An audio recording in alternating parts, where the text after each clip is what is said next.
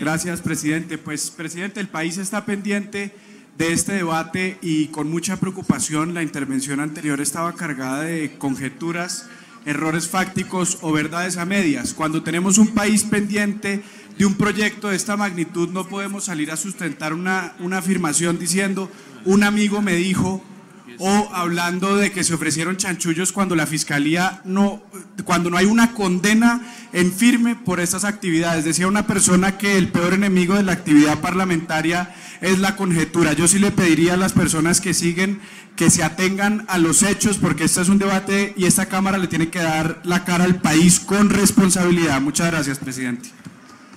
Gracias, doctor Gabriel. Doctora,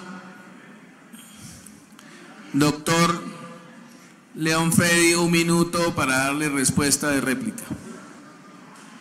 Muchas gracias, señor presidente. Pues yo creo que